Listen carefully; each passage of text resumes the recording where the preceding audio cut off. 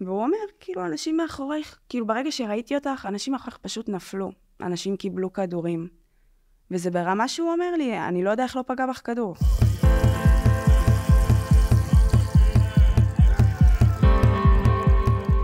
היי, אתם על שעת זריחה, פודקאסט אה, של ישראל בידור שיביא אליכם את הסיפורים והעדויות מהנובה ומהשבעה באוקטובר. והיום נמצאת איתי באולפן ניקול פלדמן, שלום. היי אביה, בוקר טוב. בוא, את יודעת, בפודקאסט יש בוקר, צהריים, ערב, שומעים את זה נכון. בכל מיני שעות. אז לילה טוב, צהריים טובים. בדיוק, כל אחד ואיך שהוא שומע את זה. אמ, מה שלומך בימים אלה? בסדר. כמו שכולם אומרים עד כמה שאפשר. אמ, שגרה.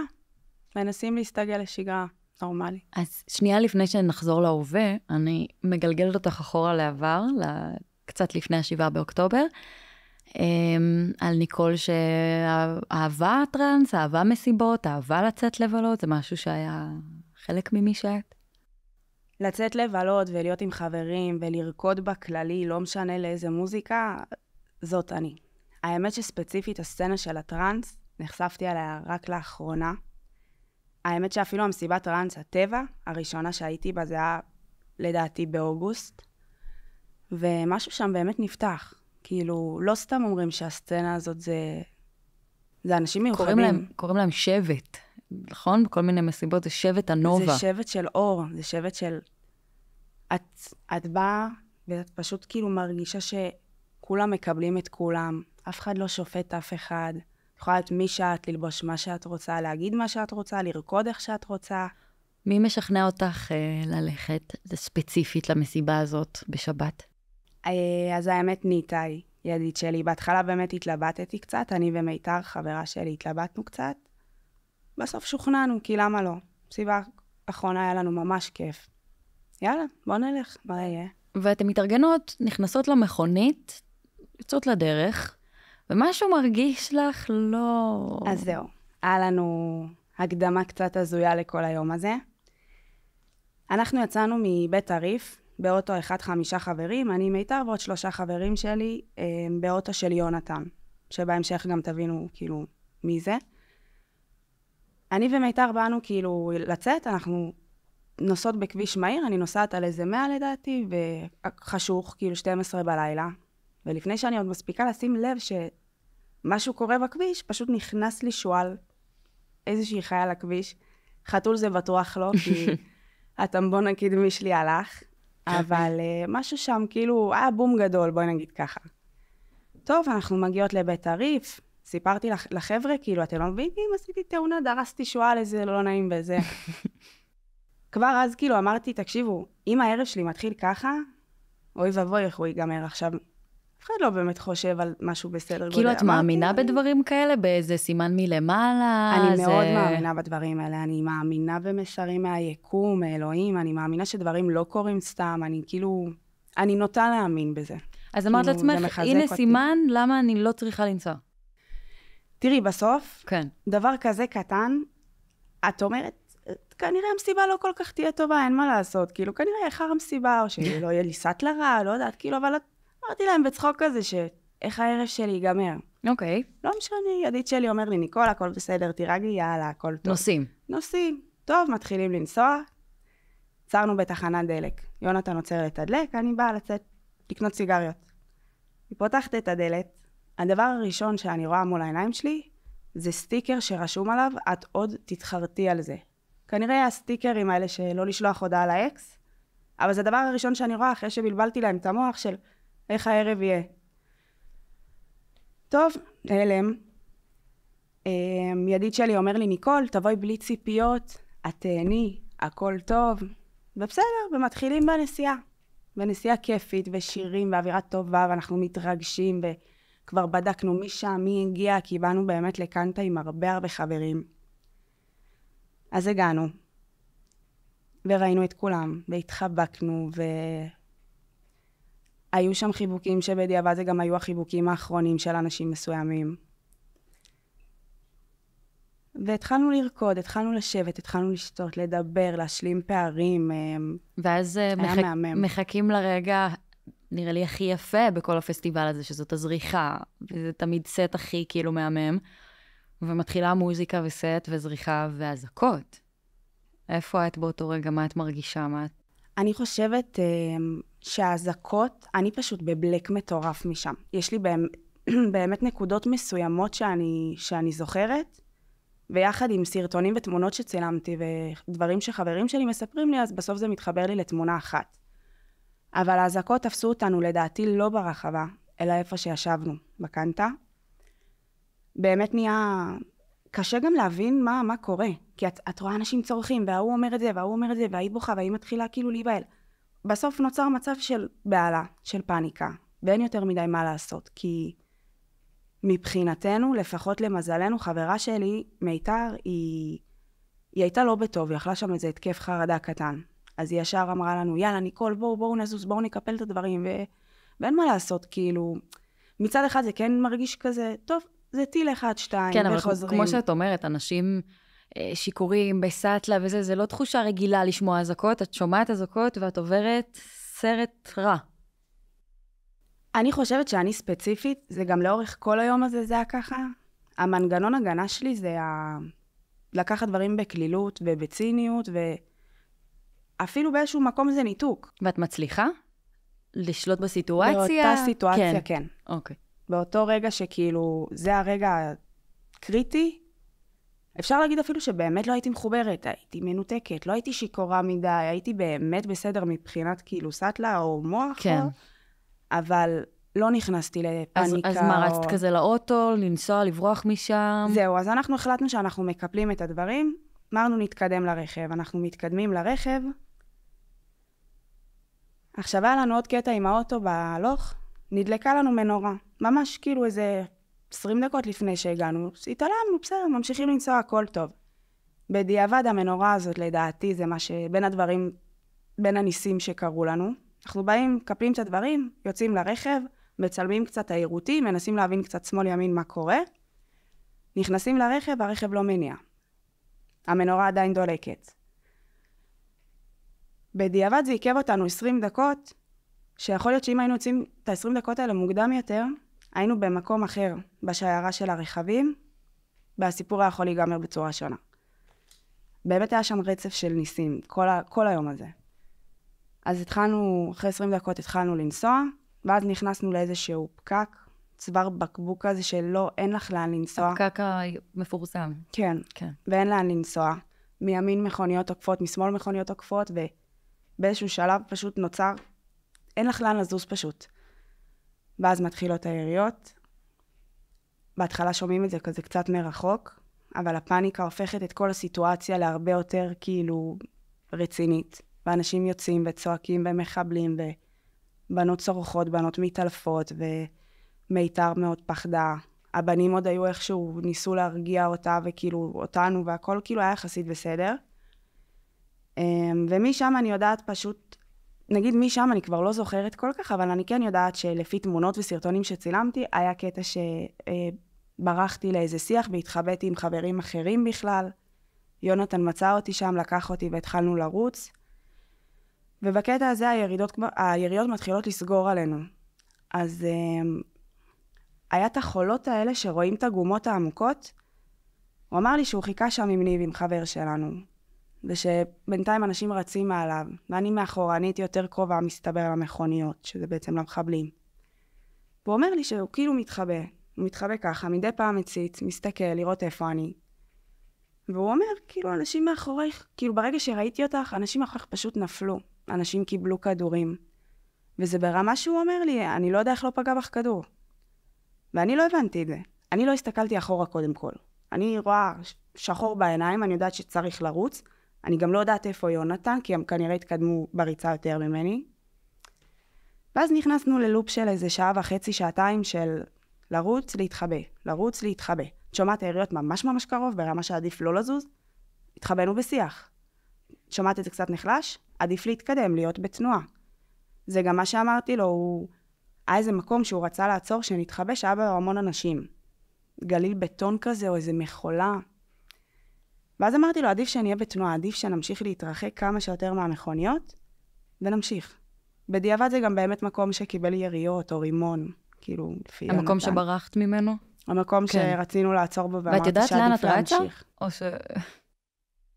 את רואה פשוט שטחים ענקיים של שדות, את לא יודעת מה הסוף, את לא יודעת מי מחכה לך בסוף. אין לך מושג עוד כמה זמן את מגיעה לסוף. את פשוט רצה על החיים שלך רק כדי לא להישאר מאחורה, ליד המחבלים. ואחרי באמת שעה וחצי, שעתיים שאנחנו רצים, מתחבאים, רצים, מתחבאים, הצטרפנו לדעתי לאיזושהי שיירה שגם ליווה אותה שוטר, והתקדמנו איתו עוד איזה שעתיים וחצי ברגל, משהו. כאילו, אני חושבת שבטוטל היינו איזה חמש שעות בשטחים, כאילו מהרגע שיצאנו מהרכב עד הרגע שהגענו בסוף לפטיש. אתם עדיין כל עברו איזה החבורה? שש שעות. אני ויונתן, ברגע שיונתן חיכה לי עם ניב, ניב המשיך לרוץ, כי היריות כבר התחילו לסגור, הוא המשיך לרוץ ויונתן המשיך להתחבא, ואז אני הצטרפתי אליהם, ואז אני ויונתן פשוט היינו כל הדרך הזאת מהבריחה והלהתחבא עד פטיש, היינו ביחד. שם פגשנו גם את גלעד ומיתר וניב, ועוד חברים אחרים שלנו, שזה כאילו חברים מהחבורה פשוט במכוניות נפרדות, היה להם בכלל סרט אחר. יום אחר לגמרי. אז אתם פוגשים את השוטר הזה שמוביל אתכם לאן? אז הובילו אותנו ליישוב פטיש. אמ, אותנו לקחו למתנס הגדול הזה, שלדעתי שם היו רוב הניצולים. אחרי שהלכנו ברגל, פשוט הגענו לאיזשהו מחסום ובאו לקחת אותנו אזרחים. אזרחים עם אה, טנדרים, לקחו אותנו כמו בסיני כזה. אמ, ואז הגענו לפטיש, ושם כבר התחילו להתאפס על הכל. רשימות, נעדרים. ואני חושבת ששם התחיל לי הסרט האמיתי. שם התחלתי אולי קצת להבין מה קורה. כי פתאום חבר טוב שלי מקבל התקף חרדה. פתאום אני קולטת, גם לא היה לי סוללה. כל, ה, כל היום הזה, כאילו יצאתי על, אם היה לי 10% כשהתחלנו לברוח. אמרתי, ידעתי שמשהו קורה, אמרתי לאימא שלי, תקשיבי, אני שמה במצב טיסה, אני כל שעה אפתח, אני ארשום לך הכל בסדר ואני אסגור. לא, לא להיבהל. אז רק כשפתחתי והטנתי קצת, הבנתי מה קורה בארץ. ואז היה קטע שכבר, כאילו, אחרי שהיינו ביישוב פטיש, אחרי שטיפלו בנו והכל, לקחו אותנו לתחנה מרכזית בבאר שבע, ואני זוכרת שעלינו על האוטובוס, ו... ואני יושבת ליד החלון, וזה הכל גם בזמן שחברים שלי עדיין לא עונים לי, שברוך השם, טפו טפו, הם היום באמת בסדר, אבל ברגעים האלה את לא את יודעת לא יודעת כאילו מה כלום. קורה. אין לך מושג, רצים לך אלף ואחת סרטים בראש. ואני יושבת באוטובוס ליד החלון, ואני אני פתאום קולטת שאני אני מתה מפחד שיראו עליי. כי איזה קל זה מחבל שיקפוץ משיח וירסס את כל האוטובוס. את יודעת, הרבה אנשים שבאו הנה, אה, הם מספרים שהם הגיעו למושב פטיש, ושם הם כאילו הרגישו הנחת רווחה. אבל, אצלי זה התחיל שם. אבל הבנתי אה, שבהתחלה זה לא היה היעד הראשון. בהתחלה הלכתם לכיוון בארי? זהו, אז הבנת, בהתחלה רצו לקחת אותנו לבארי, ואני חושבת שכשהצטוותנו לשוטר, אז אמרו לו בקשר שכאילו יש מחבלים ליד בארי, ועדיף לעשות שני כיוון. כלומר, אם אין את השוטר עם המכשיר. קשר שנותן את המסר שאתם נכון, הולכים לבארי. נכון. כי יונתן פתח את המפות. את יודעת, בראש של בן אדם נורמלי שלא מתעדכן רגע בחדשות, כי אין לך. זמן. טוב, נלך לאחד הקיבוצים, נהיה במקום מוגן. ואז הבנו מה קורה. גם אחרי שראינו כבר את השוטר, דיברתי עם חברה שלי, אומרת לי, ניקול, את ליד בארי, תתרחקי משם, תתרחקי מבארי, תתרחקי מרעים. הבנו פחות או יותר כבר מה קורה, וגם בסוף את רואה הרבה הרבה אנשים הולכים. כאילו, זה באמת היה שער, שיירה גדולה של אנשים. אז מעדיפה תמיד להישאר במקום הנוח הזה. בתנועה, אבל בתנועה עם אנשים. זהו, ואז באמת הגענו לפטיש, מפטיש לקחו אותנו לבאר שבע. בדרך אה, לא מספיק שאני כאילו מתה מפחד שיקפוץ לי מחבל מאיזה שיח, היה לנו גם צבע אדום. היה יום לא פשוט, בלשון המעטה. ממש, כן, לא קל. לא הניע האוטו. כן, באסה.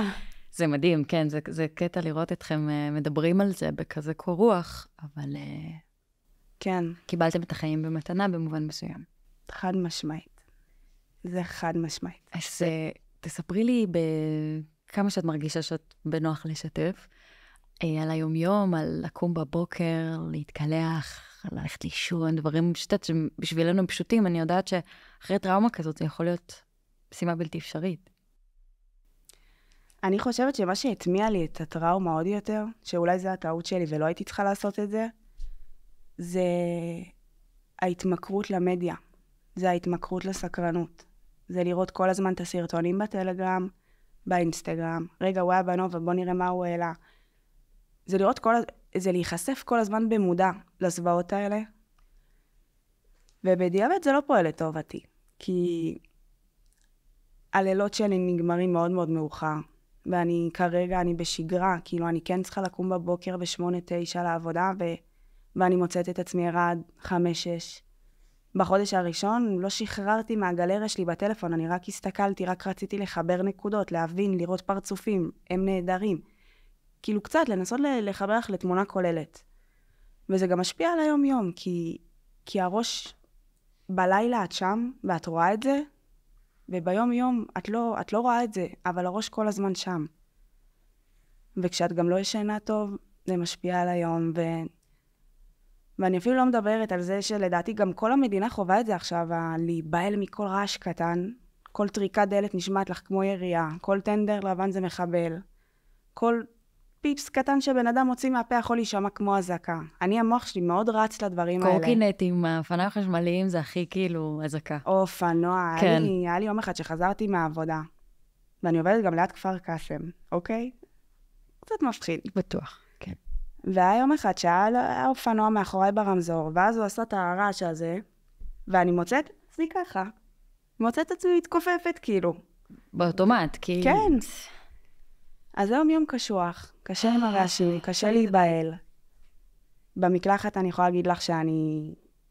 לא עוצמת עיניים בחפיפה. בדרך כלל, תקשיבי, תני להתקלח שעות, לחפוף כן. מרכך, מסכה, הכל. היום אני נכנסת כמה שיותר. מהר לצאת מהאזור הזה. חוזרת לחדר, נועלת, סוגרת תריסים שלא יראו שהטלוויזיה פתוחה, כאילו כזה, המוח שלי רץ. ובאיזה שלב בדרך, בחודשיים האלה, את מבינה שאולי זה לא בסדר, שאולי את צריכה עזרה, שאולי את צריכה מישהו שיטפל בך? ישר אחרי.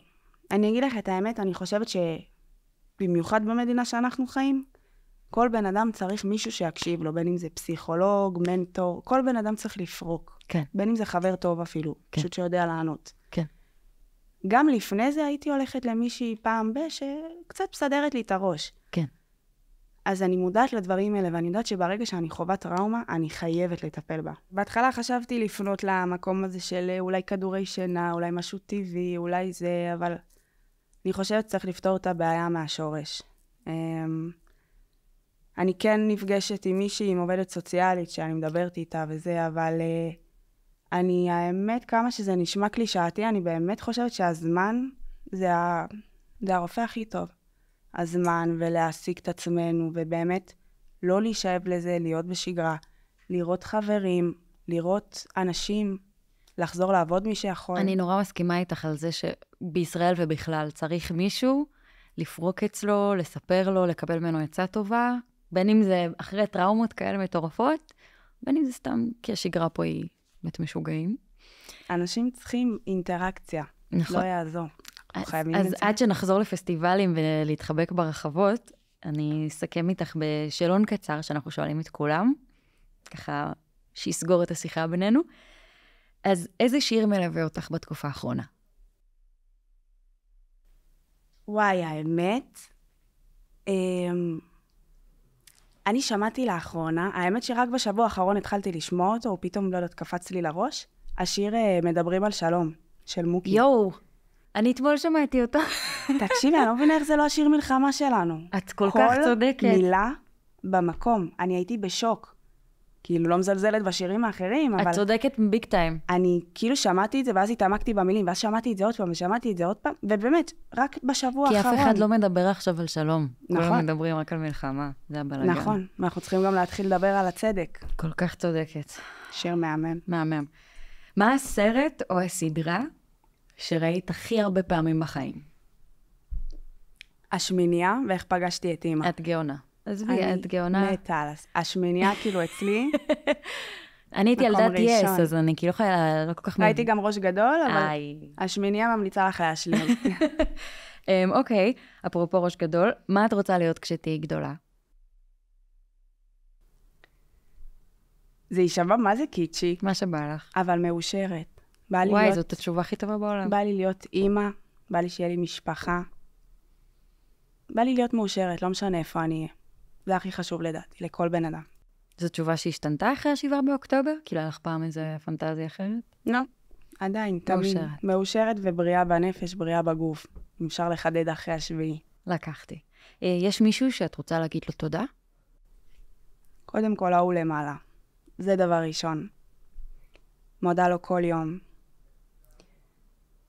אמ, ולחברים שלי שעברו איתי את היום הזה, לחברים שלי שחיזקו אותי, במיוחד יונתן, עם יונתן באמת עברתי את רוב התופת של היום, וחיזקנו אחד את השני. אמ, ולסביבה, שתומכת, שקשובה. כיף עכשיו- לראות את זה, אינטראקציה. חשוב. שאלה אחרונה. מה התובנה הכי משמעותית שיצאת איתה מאירועי השבעה באוקטובר? אני חושבת שזה משהו שניסיתי להנחיל לעצמי עוד לפני, וזה באמת חיזק לי את זה, שכלום לא מובן מאליו. באמת. אנחנו צריכים להעריך כל דבר קטן שיש לנו בחיים. כי אנשים יצאו למסיבה, סך הכל רצו לרקוד, ולא חזרו. וזה שאני יכולה, יש לי את היכולת היום לקום בבוקר, להתראיין, להיות פה, ללכת לעבוד, זה לא מובן מאליו, ואנחנו צריכים באמת להעריך את החיים, אני חושבת, ולנצל כל רגע שאנחנו יכולים כדי לשמוח וליהנות מהרגעים הקטנים האלה. כי רק כשאתה מאבד דברים, אתה מעריך את זה. וואו, אמ, אני אתייחס במשפט למה שאמרת, כי לא הספקנו לדבר על זה, אבל באמת איבדת חברים ואנשים שאת אוהבת אה, באירוע הזה.